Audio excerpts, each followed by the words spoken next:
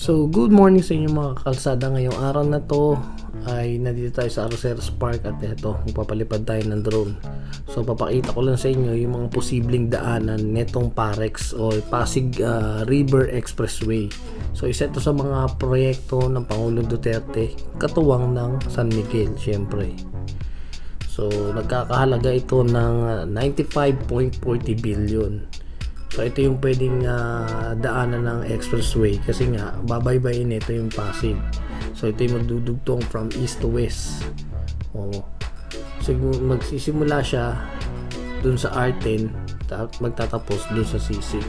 So ganun kahaba yung expressway at eh, dadaan dito sa Ilog Pasig. So papakita ko sa inyo yung picture dun sa mga nakalat nating impormasyon So, kung hindi ka pa nakapag-subscribe, mag-subscribe ka na dun sa ating YouTube channel, Kalsada TV. Pindutin yung notification bell para lagi kayong updated sa mga clearing operations saka sa mga build, build, build project. So, ayan, yung tulay na yan sa Quinto Market, papunta ng uh, Lotot, eh hindi pa rin matapos-tapos. Siguro gawa nga ng uh, inaantay muna yung yung Parex na yan. Itong Parex na to, eh, malaking bagay ito syempre marami magkakatrabaho dyan. At the same time yun mapapabilis yung uh, pagpunta mo. If ever na nandito ko sa Maynila gusto mong pumunta ng ano ng C6 Tagig eh mabilis-bilis na. Siguro mga yung dating isang oras eh pagpalagay mo ng mga 45 minutes na lang kagaya ng mga skyway. So maganda yung mga ganyan. Kaya na medyo matagal yung uh, pag ano no? Pag uh, bigay sa government biruin mo para nakasunduan lahat nila is 50 years dun sa skyway. So sayang dapat medyo ano na lang no?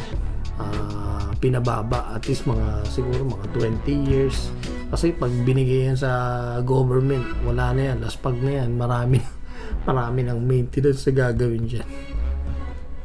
Kadalasan gano'n naman yun nangyayari. So nung dati kasi para mga 20 years lang yung pinirmahan doon sa kontrata. So pagkatapos ng 20 years turnover na doon sa government. Eh ngayon parang 50 years. So napakaganda niyang uh, expressway project na yan. So salamat syempre doon sa mga major sponsor kagaya ng San Miguel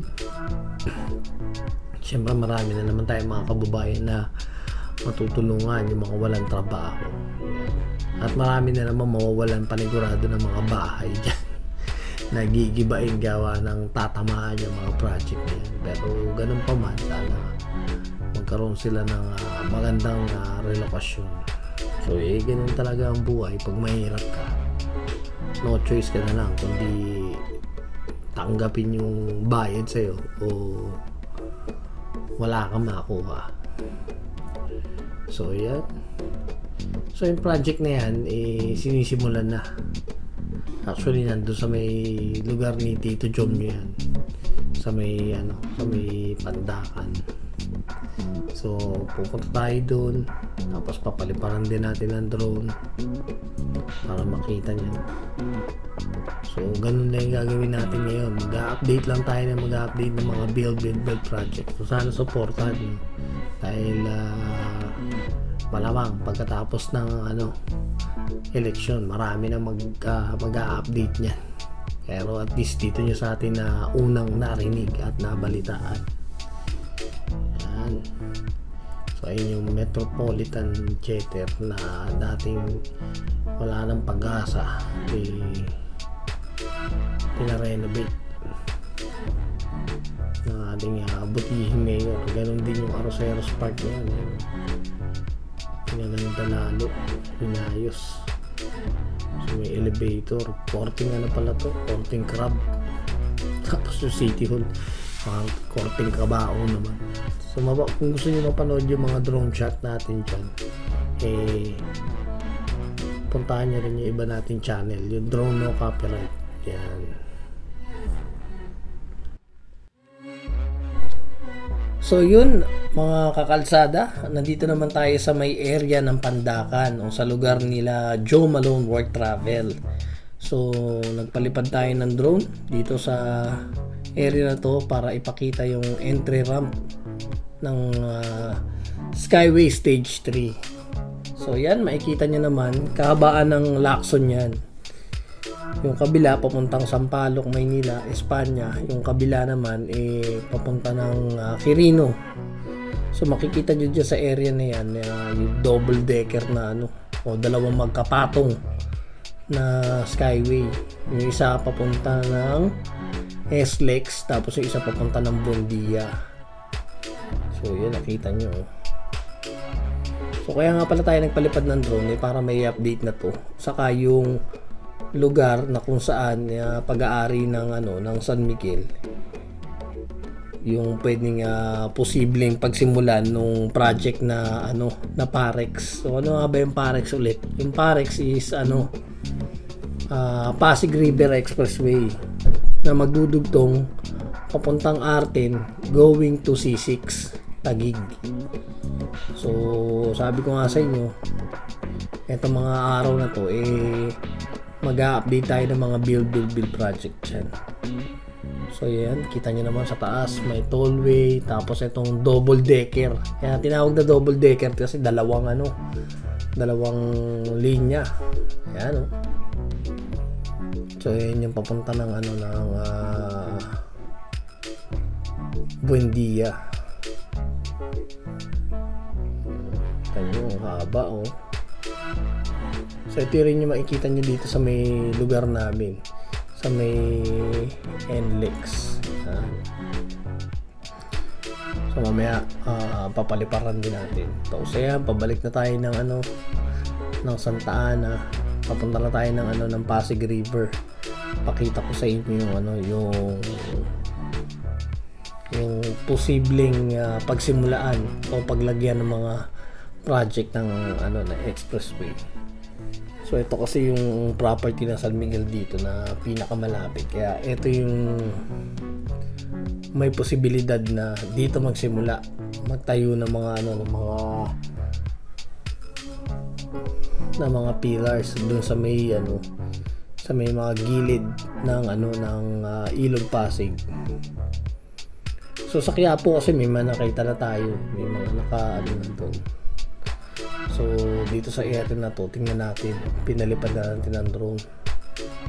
So sa mga hindi pa nakapag-subscribe, mag-subscribe na kayo sa aming YouTube channel. Pindutin yung notification bell para click niyo yung all para lagi kayong updated sa mga clearing operation sa mga pag-update na itong mga build build build ng Pangulong Duterte na sana ipagpatuloy nung mga bagong uupo mga bagong uupo eh, no? parang marami, no?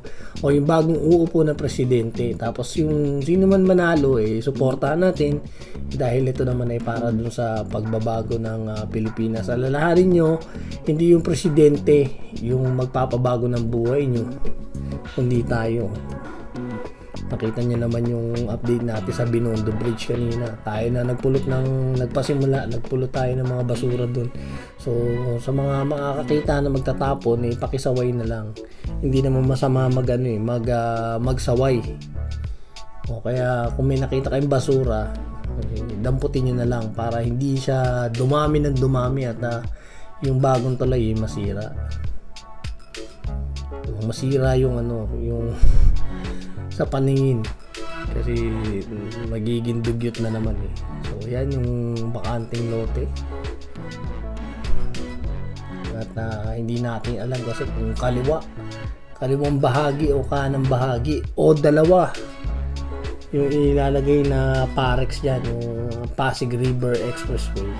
So ganun pa man eh napakadali na ng ano biyahe nun. From Road 10 to ano Road 10 to C6 Tagig yung habang expressway nun. So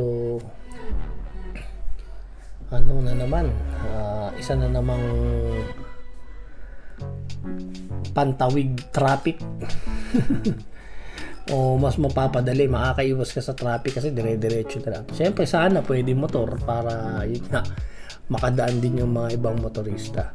So hanggang dito na lang yung update natin ng uh, sa Parex. Sana ano uh, tuloy-tuloy yung pagsuporta nyo kahit uh, wala kaming clearing operation ngayon dito lang sa update update para ano uh, lagi lang kayong updated sa balita sa nangyayari dito sa ano sa Metro Manila. Pang Metro Manila lang tayo, hindi pa tayo nakakagawi sa mga probinsya. So ganun pa man, uh, lagi kayong mag-iingat at uh, yun, God bless sa inyong lahat na viewers ng Kalsada TV. Thank you.